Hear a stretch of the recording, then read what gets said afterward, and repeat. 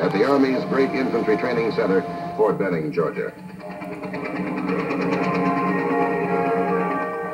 These revolutionary innovations were tried out by an experimental organization known as the 11th Air Assault Division. Its trained cadres and tested equipment provided a major component of the 1st Cavalry Division Air Mobile when it was activated July 1st, 1965. Shortly afterward, it received orders to move from Fort Benning to South Vietnam.